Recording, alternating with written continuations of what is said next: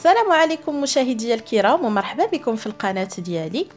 في la vidéo ديال اليوم كيف ما تيبان لكم غادي نعطيكم la recette ديال des mini بسطيلة salées au poulet اولا بسطلات صغار بالدجاج مالحين بواحد الحشوة لي très très spéciale ممكن نصلحوها هكا نخدموا بها بسيطلات اولا سيجار اولا بريوات. المهم الحشوة عندنا standard ونقدروا نستعملوها كيف ما بغينا. في لا فيديو ديال اليوم غادي نعمر بها بسيطلات وغنعطيكم الطريقة حتى كيفاش نعمروا دي سيجار. فبقاو معايا حتى الأخير باش نشوفوا المقادير والطريقة ديال التحضير.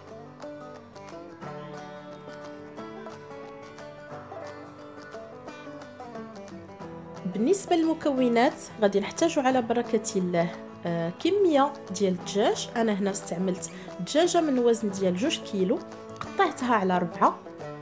ودرتها في الكوكات درت معاها ربعة ديال الكيسان ديال الماء كمية الكافية ديال الملح درت معاها جوج حامضات مقطعين على ربعة حبة ديال البصلة حتى هي كبيرة مقطعة على ربعة درت جوج ورقات ديال الرند وواحد ال bouquet ديال القزبور ومعدنوس وواحد العريشات ديال النعناع وسديت عليهم الكوكوط لمدة ديال 20 حتى ل 25 دقيقة على ما طاب ليا الدجاج ديالي. صفيته من هذاك الماء خليته حتى كيبرد وفتته بهذا الشكل هذا اللي تيبان لكم وحطيته de côté.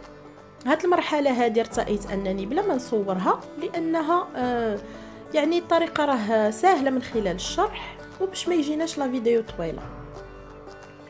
غادي نحتاجو كذلك واحد الحبة كبيرة ديال البصلة من الأحسن تكون حمراء تكون مشلضه رقيقة vraiment رقيقة بحال الشكل اللي تيبان لكم وغادي نحتاجو لواحد الكميه ديال les champignons noirs les champignons كنرقدوهم لواحد الساعة هذا هو الشكل ديالهم عن قرب هكا كيكونوا ملي تنرطبوهم في الماء كيف ما قلت لكم تنرطبوهم لمده تقريبا ديال ساعه وكنغسلوهم شي ثلاثة أو اربعه المرات حتى كيتنقاو تماما من هذاك الغبار اللي كتكون فيهم غادي نحتاجو لواحد le bol moyen ديال الشامبينيون العاديين غادي نغسلوه حتى هو ونخليوه يقطر ونقطعوه بالشكل اللي تيبان لكم غادي نحتاجو 250 غرام ديال الكريمة الخاصة بالطبخ. غادي نحتاجو كذلك الكمية ديال الفرomاج على حسب الرغبة أو على حسب المتوفر عندنا في البيت. غادي نحتاجو الكمية ديال الزبدة اللي غادي نصوتيو فيها هاد المكونات هادو. فاول حاجة غادي ندير أنني غادي ناخذ واحد المقلة أه تكون شوية كبيرة لأن هي اللي غادي نطيب فيها كل شيء غادي ندير فيها جوج معالق كبار ديال الزبدة مع جوج معالق ديال الزيت النباتية باش ما كتحرق لناش هذيك الزبدة. وغادي نشحر فيها هذيك البصيلة ديالي بلا ما يتبدل اللون ديالها فقط أنها آه تهبط لينا واحد شوية واللون ديالها يبقى أبيض.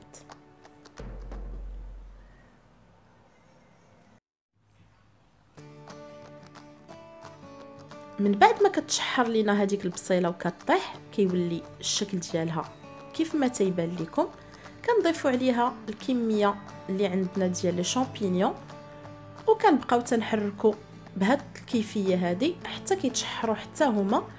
عاد باش نضيفوا عليهم لي شامبينيون نوار.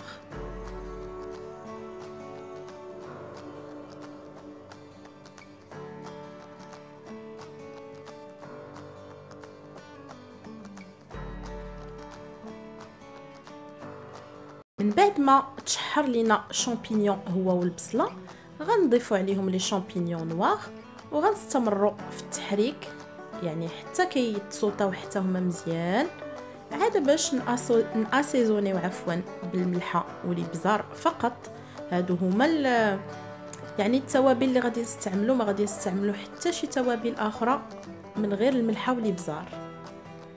غنضيفو كمية قليلة ديال الملحة ما نساوش أن الدجاج راه مسلوق déjà في الماء المملح. فنضيفو غير كمية آه اللي غادي تملح لينا هاد لي شامبينيون هما والبصلة. غنخليهم حتى كيتشحروا مزيان مع بعضياتهم وكيبداو هذاك الشامبينيون كنبدا كيطرطق معانا. يعني آه يعطينا سين بأنه راه فقد السوائل ديالو تماما. عاد باش كنضيفوا الكريمة. ومني كنضيفوا الكريمة كنجهدوا على البوطة مزيان حتى كتغلى معانا. وكنوليو كنضيفوا ليها هذوك القطع ديال الدجاج اللي ديجا فتتنا من قبل.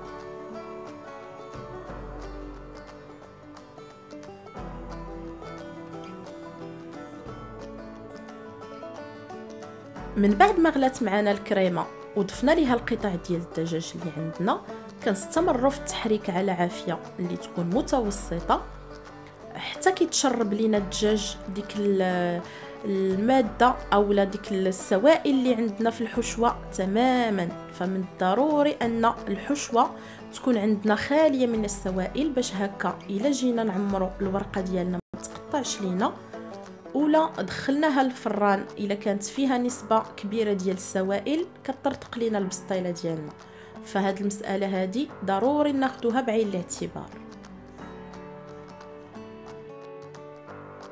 من بعد ما وجدت معنا الحشوة وبردات غادي ندوزو دابا باش نضيفوا ليها آه كمية ديال الفرomاج غابي. الكمية حنا اللي كنتحكموا فيها ولكن من الأفضل أننا نكونوا سخيين شوية في هذه المرحلة هذه لأن هذا الفرomاج هذا هو اللي سيعطي البسيطلات ديالنا. هذيك التعليكة من الداخل. فغادي ندمج الفرomاج مع الحشوة اللي كيف ما قلت لكم ضروري أنها تكون باردة. باش هكا ما يذوبش لينا الفرomاج في هذه المرحلة هذه فاحنا حاجتنا به يذوب منين ندخلوا البسيطلات للفران.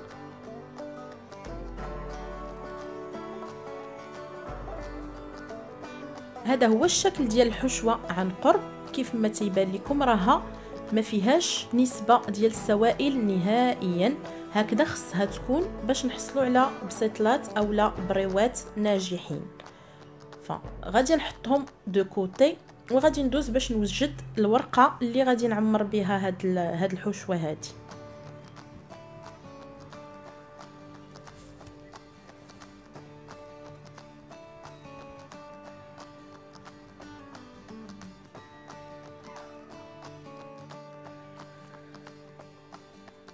غادي ندوزو للمرحلة ديال التعمار ديال البسيطلات.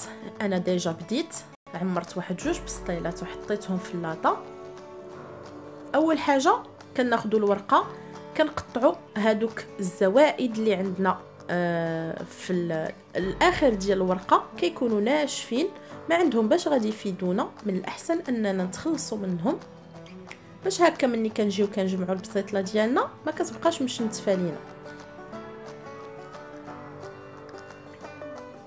أنا هنا خديت الورقة من الحجم الصغير لأنني حاجتي في بسيطلات صغار ومن الأحسن أن الورقة تكون نوعية جيدة يعني نختاروا داك اللي كنشريو من عنده الورقة اللي تيكون تيدير الورقة نوعية جيدة باش كتعاوننا حتى هي في الخدمة وما كيطرطقوا ليناش يعني البسيطلات ديالنا سواء في الخدمة أولا في الفران.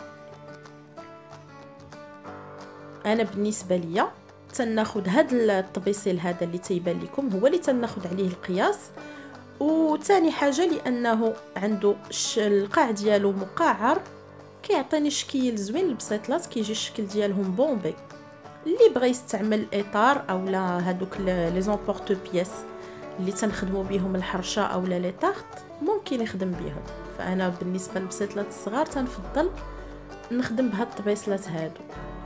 وهنا عندي واحد الكمية ديال الزيت اللي نسمتها بالعطريه الخاصة بالبسطيلة ديال السمك باش كينكهوا ليا الورقة ديالي اولا وثانيا باش كيعطيها واحد لا كولور مني كطيب كتجي محمرة.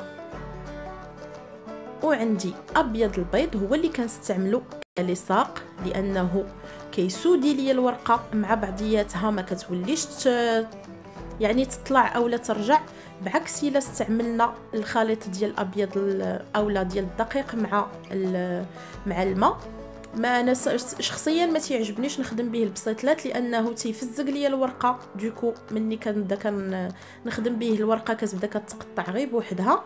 وثاني حاجة ملي كندخلوه للفران كتقصح لينا ديك لابارتي اللي فيها الطحين كتقصح لينا في الطياب. donc فين ما كنكمل شي بسيطلة كندير ليها دهينة خفيفة من داك الخليط ديال الزيت اللي منسم بالعطرية ديال السمك وكنحطها de côté حتى كنخدم الثانية وبنفس الكيفية غادي نستمر حتى نكمل الكمية اللي عندي كاملة ولا اللي حاجتي بها وغادي نستفهم في اللاطه وندوزو باش نوريكم حتى الطريقة باش كيتخدموا les cigares.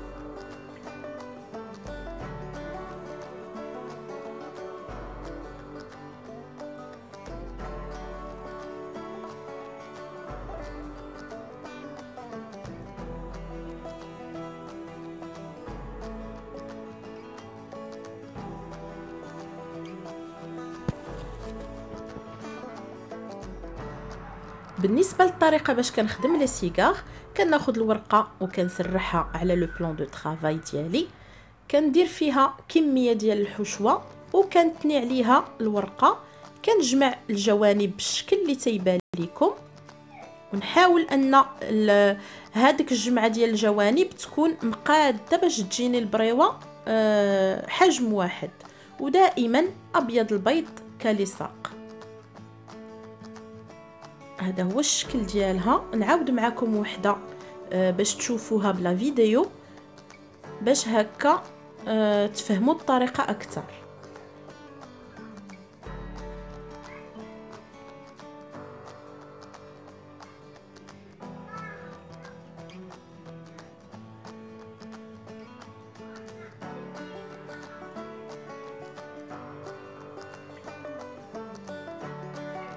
غادي نستمر بنفس الكيفية حتى نكمل لي زوليت اللي عندي كاملين نحطهم في اللاطه اللي غادي نطيبهم فيها ونخليهم حتى ينشفوا معايا تماما ونتلاقاو.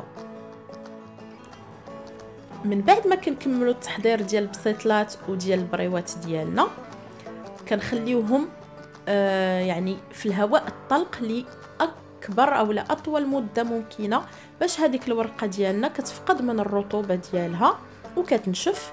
وبالتالي ملي كندخلوها للفران ما كتاخذ ليناش بزاف ديال الوقت في الطياب ودغيا كتقرمش معانا. هنا في هذه المرحلة هذه أنا عندي الفران آه سخون يعني مشعل من الأسفل ومن الأعلى على آه درجة حرارة عالية. مني ندخلو البسيطلات ديالنا نهبطوا من الحرارة ديالو ونخليهم كياخذوا وقتهم في الطياب باش ما كيتخطفوش لينا. بالنسبة لهذا الخليط اللي تندهن به فهو le reste ديال أبيض البيض اللي تيبقى ليا مع هذاك الزيت اللي كندهن به الورقة. كندهن به الوجه ديال البريوات وديال البسيطلات ديالي باش مني كيطيبوا كتجي فيهم ديك la couleur هكا محمره و dorée آه، وكيجيو عاطيين العين. وكان هذا هو الشكل النهائي ديال البسيطلات ديالي من بعد ما خرجتهم من الفران وفقدوا من الحرارة ديالهم. حطيتهم في الطبق ديال التقديم وزينتهم بواحد شوية ديال الفرomاج غابي من الوجه ورشيت عليهم شوية ديال لا سيبولات باش هكا نضيف عليهم واحد ال... واحد اللمسة ديال الخضورية ونخرج هذيك لا ديال البسيطلات صراحة الوصفة رائعة وتستحق التجربة. إلا عجبتكم la vidéo ديال اليوم ما تبخلوش عليا ب les likes ديالكم. خليو لي des commentaires. وبالنسبة للناس اللي تيزوروا القناة لأول مرة تنقول لهم مرحبا بكم. ما تنساوش أنكم تضغطوا على زر الاشتراك وتفعلوا الجرس باش هكا يوصلكم كل جديد القناة. وهنا كتسالي لا فيديو ديالنا. إلى فيديو مقبله بحول الله. خليت لكم الراحة.